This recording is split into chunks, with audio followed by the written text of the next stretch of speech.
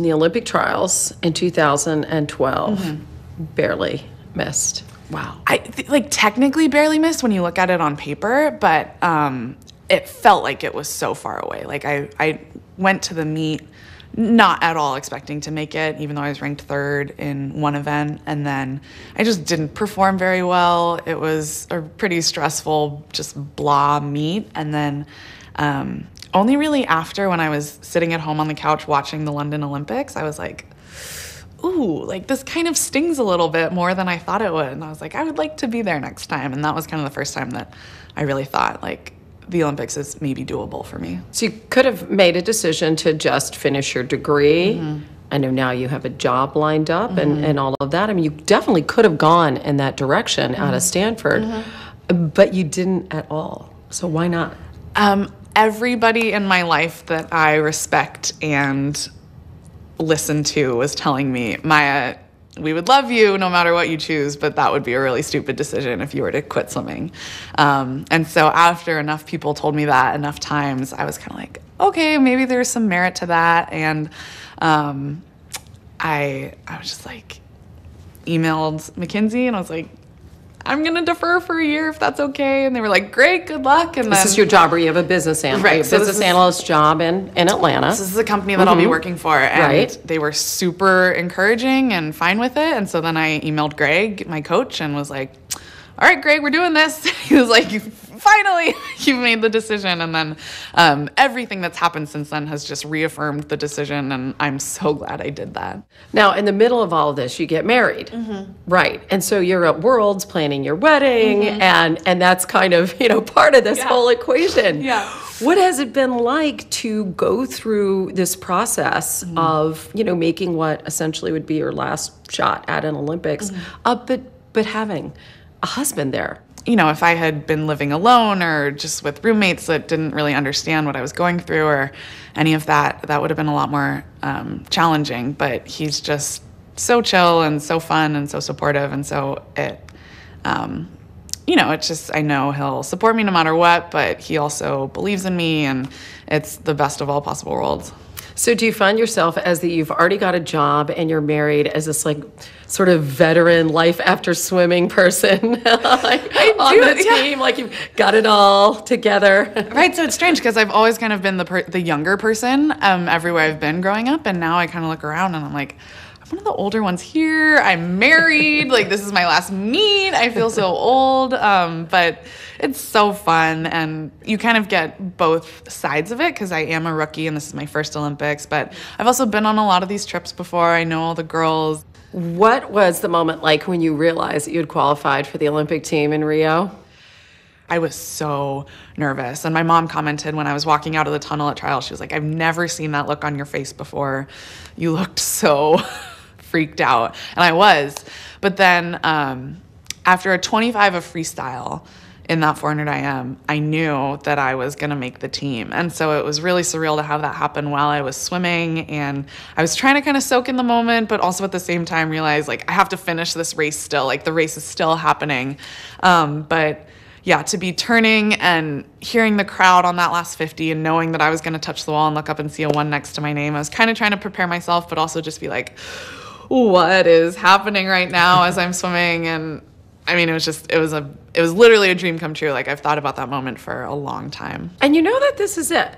Yeah. Right? This is like your one Olympic moment. Does that affect the way you think about it or A little bit when I let myself think about it, but I try not to for most of the time because, you know, you don't want to be up on the blocks thinking this is my last race ever because you've never thought that the rest of your career and like you don't need to have that hanging over your head. So I'll try to just like approach it as best I can. Obviously, give my best effort, maybe a little bit more because I do know like on that last 50, like I can really dig. But um, no, it's gonna be.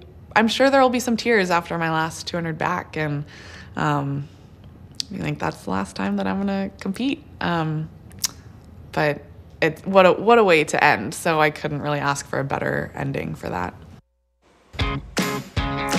Maya DiRado already has silver. Tonight she swims in the 200 IM final. Also in the pool, Katie Ledecky going for her second goal and Michael Phelps. We're live from Rio after this.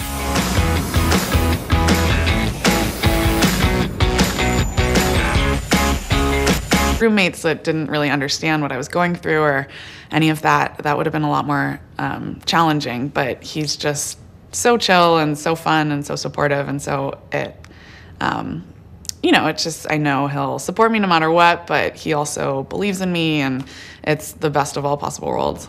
So do you find yourself as that you've already got a job and you're married as this like sort of veteran life after swimming person like on do, the yeah. team, like you've got it all together? Right, so it's strange because I've always kind of been the per- the younger person um, everywhere I've been growing up, and now I kind of look around and I'm like, one of the older ones here. I'm married. like this is my last meet. I feel so old, um, but it's so fun and. It's your job where you have a business analyst, Right, so business is- analyst job in, in Atlanta. This is a company that I'll be working for, and Right. they were super encouraging and fine with it. And so then I emailed Greg, my coach, and was like, "All right, Greg, we're doing this." He was like, "Finally, you've made the decision." And then um, everything that's happened since then has just reaffirmed the decision, and I'm so glad I did that.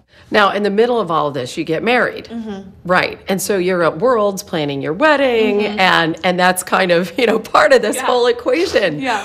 What has it been like to go through this process Mm-hmm. of you know making what essentially would be your last shot at an Olympics, Mm-hmm. uh, but but having a husband there? You know, if I had been living alone or just with the Olympics, it's maybe doable for me. So you could have made a decision to just finish your degree. Mm-hmm. I know now you have a job lined up and, and all of that. I mean, you definitely could have gone in that direction out Mm-hmm. of Stanford, but you didn't at all. So why not?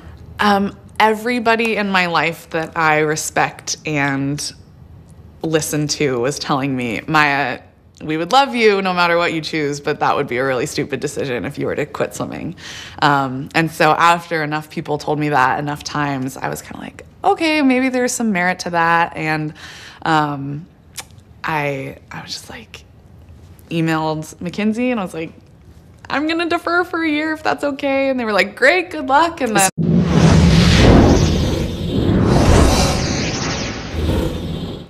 In the Olympic trials in 2012, Mm-hmm. barely missed. Wow. I th- like technically barely missed when you look at it on paper, but um, it felt like it was so far away. Like I, I went to the meet not at all expecting to make it, even though I was ranked third in one event, and then I just didn't perform very well. It was a pretty stressful, just blah meet, and then. Um, only really after when I was sitting at home on the couch watching the London Olympics, I was like, ooh, like this kind of stings a little bit more than I thought it would. And I was like, I would like to be there next time. And that was kind of the first time that I really thought, like, you kind of get both sides of it because I am a rookie and this is my first Olympics. But I've also been on a lot of these trips before. I know all the girls. What was the moment like when you realized that you had qualified for the Olympic team in Rio? I was so nervous. And my mom commented when I was walking out of the tunnel at trial, she was like, I've never seen that look on your face before. You looked so freaked out. And I was. But then um, after a 25 of freestyle in that 400 IM, I knew that I was going to make the team. And so it was really surreal to have that happen while I was swimming. And I was trying to kind of soak in the moment, but also at the same time realize like I have to finish this race still. Like the race is still happening. Um, but yeah, to be turning